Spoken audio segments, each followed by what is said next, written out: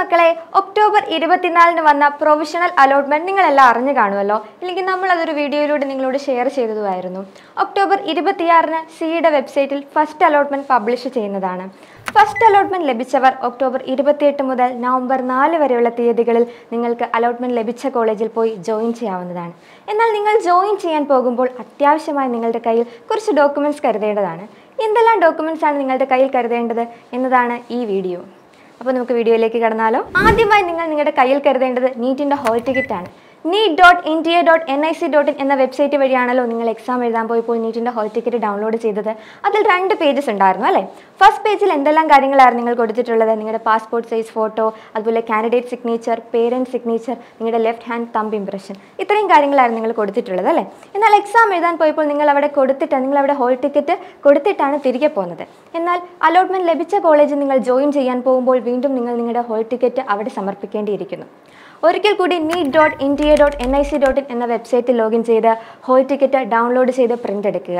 അതിൽ നേരത്തെ പറഞ്ഞ പാസ്പോർട്ട് സൈസ് ഫോട്ടോ അതുപോലെ candidate signature parent signature left hand thumb impression ഇതെല്ലാം കൊടുത്തിട്ട് നിങ്ങൾ ഹോൾ ടിക്കറ്റ് ഡൗൺലോഡ് ചെയ്ത് നിങ്ങൾക്ക് അലോട്ട്മെന്റ് ലഭിച്ച കോളേജ് എവിടെയാണോ അവിടെ ഹാജരാക്കുക. അടുത്തതായി നിങ്ങൾ കയ്യിൽ കരുതേണ്ടത് നിങ്ങളുടെ സ്കോർ കാർഡാണ് നീറ്റിന്റെ റിസൾട്ട് അറിഞ്ഞപ്പോൾ നിങ്ങൾ നിങ്ങളുടെ സ്കോർ കാർഡ് ഡൗൺലോഡ് ചെയ്തിട്ടുണ്ടാവും അല്ലേ? അപ്പോൾ അതേ സ്കോർ കാർഡ് തന്നെയാണ് നിങ്ങൾക്ക് അഡ്മിഷൻ ലഭിച്ച കോളേജിലും ഹാജരാക്കേണ്ടത്. അടുത്തതായി നിങ്ങൾ കയ്യിൽ കരുതേണ്ടത് കേരള ഡാറ്റ ഷീറ്റാണ് എന്താണ് നിങ്ങളുടെ ഡാറ്റ ഷീറ്റ് നിങ്ങളുടെ റിസർവേഷൻ നിങ്ങൾക്ക് എന്തെങ്കിലും റിസർവേഷൻ ഉണ്ടെങ്കിൽ അത് നിങ്ങളുടെ കാറ്റഗറി നിങ്ങളുടെ നീറ്റിന്റെ റാങ്ക് തുടങ്ങിയ കാര്യങ്ങൾ ഇൻക്ലൂഡ് ചെയ്തിട്ടുള്ളതാണ് നിങ്ങളുടെ ഡാറ്റ ഷീറ്റ് നിങ്ങൾക്ക് ഒക്ടോബർ ഇരുപത്തെട്ട് മുതൽ C dot Kerala dot G O V dot in എന്ന വെബ്സൈറ്റ് വഴി നിങ്ങളുടെ ഡാറ്റ ഷീറ്റ് ഡൗൺലോഡ് ചെയ്തെടുക്കാവുന്നതാണ്.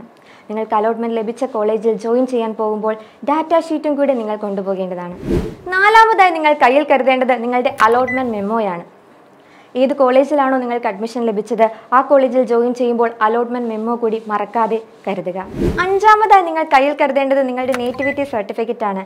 മെയ് പത്തിന് വെബ്സൈറ്റിൽ നിങ്ങൾ നേറ്റിവിറ്റി പ്രൂഫായിട്ട് ഏത് സർട്ടിഫിക്കറ്റ് ആണോ നിങ്ങൾ കൊടുത്തിരുന്നത് അതേ സർട്ടിഫിക്കറ്റ് തന്നെയാണ് നിങ്ങൾ കോളേജിൽ ജോയിൻ ചെയ്യുമ്പോൾ ഹാജരാക്കേണ്ടതും. ചില കുട്ടികൾ നിങ്ങളുടെ ഡേറ്റ് ഓഫ് ബർത്ത് കൊടുത്തിട്ടുണ്ടാവാം ചില കുട്ടികൾ പാസ്പോർട്ട് കൊടുത്തിട്ടുണ്ടാവാം. നിങ്ങൾ വെബ്സൈറ്റിൽ നേരത്തെ ഏത് സർട്ടിഫിക്കറ്റ് ആണോ അപ്ലോഡ് ചെയ്തത് അത് തന്നെ കൊണ്ടുപോകാൻ പ്രത്യേകം ശ്രദ്ധിക്കുക. ആറാമതായി നിങ്ങളുടെ ഡേറ്റ് ഓഫ് ബർത്തിന്റെ പ്രൂഫാണ് നിങ്ങൾ കൊണ്ടുപോകേണ്ടത്. അത് നിങ്ങൾക്ക് നിങ്ങളുടെ ബർത്ത് സർട്ടിഫിക്കറ്റ് കൊണ്ടുപോകാം. അതല്ലാന്നുണ്ടെങ്കിൽ നിങ്ങളുടെ ടെൻത്തിന്റെ സർട്ടിഫിക്കറ്റും നിങ്ങൾക്ക് കൊണ്ടുപോകാൻ സാധിക്കുന്നതാണ്. അടുത്തതായി നിങ്ങൾക്ക് പത്തിന്റെയും പ്ലസ് ടുവിന്റെയും സർട്ടിഫിക്കറ്റാണ് കൊണ്ടുപോകേണ്ടത്. നിങ്ങൾക്ക് അമ്പത് ശതമാനത്തിൽ കുറയാതെ മാർക്കുണ്ട് എന്ന് തെളിയിക്കുന്നതിന് വേണ്ടിയാണ് നിങ്ങളുടെ ടെൻത്തിന്റെയും പ്ലസ് ടുവിന്റെയും സർട്ടിഫിക്കറ്റ് നിങ്ങൾക്ക് അവിടെ ഹാജരാക്കേണ്ടത്. അടുത്തതായി നിങ്ങൾക്ക് ഹാജരാക്കേണ്ടത് നിങ്ങളുടെ ട്രാൻസ്ഫർ സർട്ടിഫിക്കറ്റും അതുപോലെ കോൺടാക്ട് സർട്ടിഫിക്കറ്റുമാണ് നിങ്ങൾ റിപ്പീറ്റ് ചെയ്തിട്ടുള്ള കുട്ടികളാണെങ്കിൽ കോൺടാക്ട് സർട്ടിഫിക്കറ്റ് കിട്ടിയിട്ട് നിങ്ങൾക്ക് ഒരു വർഷം ആയിട്ടുണ്ടാവും അല്ലേ? അപ്പം നിങ്ങൾക്ക് അലോട്ട്മെന്റ് ലഭിച്ച കോളേജ് ഏതാണോ അവരുടെ നിർദ്ദേശപ്രകാരം അവർക്ക് പുതിയ കോൺടാക്ട് സർട്ടിഫിക്കറ്റ് ആണ് വേണമെങ്കിൽ നിങ്ങൾക്ക് പ്ലസ് ടുവിന് പഠിച്ച കോളേജിലെ പ്രിൻസിപ്പളുമായിട്ട് കോൺടാക്ട് ചെയ്ത് പുതിയ കോൺടാക്ട് സർട്ടിഫിക്കറ്റ് അവിടെ ഹാജരാക്കാം. അതല്ല നിങ്ങൾ നിലവിൽ നിങ്ങളുടെ കയ്യിലുള്ള കോൺടാക്ട് സർട്ടിഫിക്കറ്റ് മതിയെന്നാണ് പറയുന്നെങ്കിൽ അത് തന്നെ നിങ്ങൾ അവിടെ ഹാജരാക്കുക. പതിനൊന്നാമതായി നിങ്ങളുടെ കയ്യിൽ കരുതേണ്ടത് മെഡിക്കൽ സർട്ടിഫിക്കറ്റ് ആണ്. നിങ്ങൾ മെഡിക്കലി ഫിറ്റ് ആണെന്ന് പ്രൂവ് ചെയ്യുന്ന ഒരു ഡോക്ടറുടെ സർട്ടിഫിക്കറ്റ് ആണ്. മെഡിക്കൽ നിങ്ങൾ കൊണ്ടുപോകേണ്ടത്. C dot Kerala dot G O V dot in എന്ന വെബ്സൈറ്റിൽ നിങ്ങൾ ലോഗിൻ ചെയ്യുമ്പോൾ ലെഫ്റ്റ് സൈഡിൽ നിങ്ങൾക്ക് പ്രോസ്പെക്ടസ് കാണാൻ സാധിക്കും. അതിൽ നൂറ്റി അൻപത്തി ഒന്നാം പേജിൽ നിങ്ങൾക്ക് മെഡിക്കൽ സർട്ടിഫിക്കറ്റിന്റെ ഒരു ഫോർമാറ്റ് കാണാൻ സാധിക്കും. അതേ ഫോർമാറ്റിലുള്ള മെഡിക്കൽ സർട്ടിഫിക്കറ്റാണ് നിങ്ങൾ കോളേജിൽ ജോയിൻ ചെയ്യുമ്പോൾ അവിടെ ഹാജരാക്കേണ്ടത്.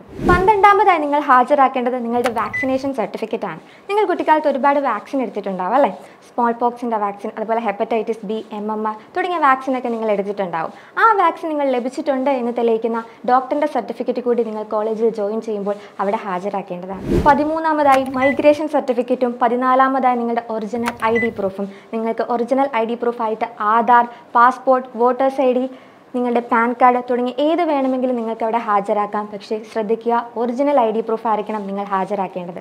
അടുത്തതായിട്ട് പറയാനുള്ളത് ഒരു ഇമ്പോർട്ടന്റ് ഡോക്യുമെന്റ് ആണ്.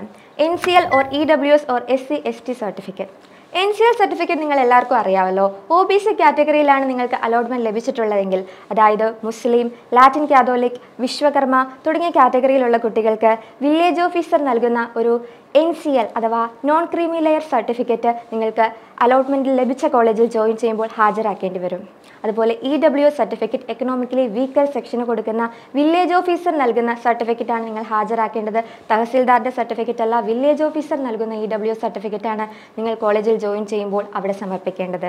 അതുപോലെ എസ് സി എസ് ടി കാറ്റഗറിയിലുള്ള കുട്ടികളാണ് നിങ്ങളെങ്കിൽ നിങ്ങൾക്ക് തഹസിൽദാർ നൽകുന്ന ഒരു കാസ്റ്റ് സർട്ടിഫിക്കറ്റ് ഉണ്ടാവും. ആ കാസ്റ്റ് സർട്ടിഫിക്കറ്റാണ് നിങ്ങൾ കോളേജിൽ ജോയിൻ ചെയ്യുമ്പോൾ അവിടെ ഹാജരാക്കേണ്ടത്.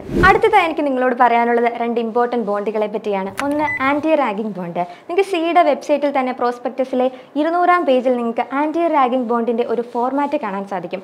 അതേ ഫോർമാറ്റിൽ ഒരു മുദ്രപത്രത്തിൽ പ്രിന്റ് ചെയ്ത് നിങ്ങൾ ആന്റി റാഗിംഗ് ബോണ്ട് സമർപ്പിക്കേണ്ടതാണ്. അതുപോലെ ലിക്വിഡേഷൻ ഡാമേജ് ബോണ്ട് എന്ന് പറഞ്ഞാൽ നിങ്ങൾക്കൊരു എം ബി ബി എസിനോ ബി ഡി എസിനോ ഒരു കോളേജിൽ അഡ്മിഷൻ ലഭിച്ചു കഴിഞ്ഞാൽ അവിടുന്ന് നിങ്ങൾക്ക് ഡ്രോപ്പ് ചെയ്യേണ്ടി വന്നു കഴിഞ്ഞാൽ നിങ്ങൾ എന്താ ചെയ്യേണ്ടത്? നിങ്ങൾ അഞ്ച് ലക്ഷമോ പത്ത് ലക്ഷമോ എം ബി ബി എസ് ആണെങ്കിൽ പത്ത് ലക്ഷം ബി ഡി എസ് ആണെങ്കിൽ അഞ്ച് ലക്ഷം ഇത്രയും എമൗണ്ട് നിങ്ങൾ ലിക്വിഡേഷൻ ഡാമേജ് ആയിട്ട് പേ ചെയ്തോളാം എന്ന് ബോധ്യപ്പെടുത്തുന്ന ഒരു ബോണ്ടാണ് ലിക്വിഡേഷൻ ഡാമേജ് ബോണ്ട് പതിനാറാമതായി നിങ്ങൾ ഹാജരാക്കേണ്ട സർട്ടിഫിക്കറ്റ് അല്ലെങ്കിൽ ഡോക്യുമെന്റ് എന്ന് പറയുന്നത് നിങ്ങൾ ഓൺലൈനായി അടച്ച ഫീസിന്റെ റെസിപ്റ്റാണ് അത് നിങ്ങൾക്ക് ഓഫ്ലൈനായിട്ടും അടയ്ക്കാം ഓൺലൈനായിട്ടും അടയ്ക്കാം. ഓഫ്ലൈൻ ആണെങ്കിൽ അതിന്റെ ചെല്ലാൻ കാണും. ഓൺലൈൻ ആണെങ്കിൽ നിങ്ങൾക്ക് സൈറ്റിൽ നിന്ന് തന്നെ റെസിപ്റ്റ് ഡൗൺലോഡ് ചെയ്യാൻ സാധിക്കുന്നതാണ്. ആ റെസിപ്റ്റും നിങ്ങൾക്ക് കോളേജിൽ ജോയിൻ ചെയ്യുമ്പോൾ അവിടെ ഹാജരാക്കേണ്ടതാണ്.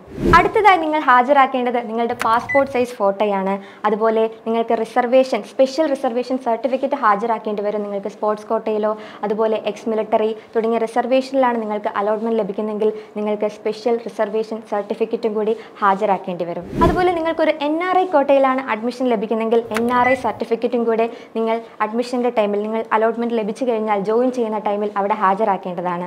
ഇരുപതാമത്തെ ഡോക്യുമെന്റായി നിങ്ങൾ ഹാജരാക്കേണ്ടത് നിങ്ങളുടെ എലിജിബിലിറ്റി സർട്ടിഫിക്കറ്റ് ആണ്. നിങ്ങൾ കേരളത്തിലോ വിദേശത്തോ പഠിച്ച കുട്ടികളാണെങ്കിൽ നിങ്ങൾക്ക് എലിജിബിലിറ്റി സർട്ടിഫിക്കറ്റ് ഹാജരാക്കേണ്ട ആവശ്യമില്ല. എന്നാൽ കേരളത്തിന് പുറത്ത് തമിഴ്നാട് കർണാടക പോലുള്ള സംസ്ഥാനങ്ങളിലെ സ്റ്റേറ്റ് സിലബസ് ആണ് നിങ്ങൾ പഠിച്ചിട്ടുള്ളതെങ്കിൽ നിങ്ങൾ തീർച്ചയായും എലിജിബിലിറ്റി സർട്ടിഫിക്കറ്റ് നിങ്ങൾ കോളേജിൽ ജോയിൻ ചെയ്യുമ്പോൾ അവിടെ ഹാജരാക്കേണ്ടതാണ്. സി ബി എസ് ഇ കുട്ടികൾക്ക് ഇതിന്റെ ആവശ്യമില്ല. എന്നാൽ സ്റ്റേറ്റ് സിലബസിൽ പഠിച്ച കുട്ടികൾ കേരളത്തിന് പുറത്ത് സ്റ്റേറ്റ് സിലബസിൽ പഠിച്ച കുട്ടികൾ എലിജിബിലിറ്റി സർട്ടിഫിക്കറ്റ് തീർച്ചയായും ഹാജരാക്കേണ്ടതാണ്. അപ്പോൾ ഞാൻ ഈ പറഞ്ഞ ഡോക്യുമെന്റ്സ് എല്ലാമാണ് നിങ്ങൾക്ക് അലോട്ട്മെന്റ് ലഭിച്ചു കഴിയുമ്പോൾ ഒരു കോളേജിൽ ജോയിൻ ചെയ്യുമ്പോൾ നിങ്ങൾ ഹാജരാക്കേണ്ട ഡോക്യുമെന്റ്സ് മറക്കാതെ തന്നെ ഇത്രയും ഡോക്യുമെന്റ്സിന്റെ ഒറിജിനൽ ഹാജരാക്കുക. നിങ്ങളുടെ ഫ്യൂച്ചറിന്റെ കാര്യമാണ്. അഥവാ നിങ്ങൾക്ക് ഒറിജിനൽ ഹാജരാക്കാൻ പറ്റിയില്ലെങ്കിൽ മേ ബി നിങ്ങളുടെ അലോട്ട്മെന്റ് ക്യാൻസൽ ആയി പോകുന്നതാണ്. ശ്രദ്ധിച്ച് തന്നെ ചെയ്യുക. വീഡിയോ എല്ലാ കൂട്ടുകാർക്കും ഇഷ്ടപ്പെട്ടു മനസ്സിലായെന്ന് വിചാരിക്കുന്നു.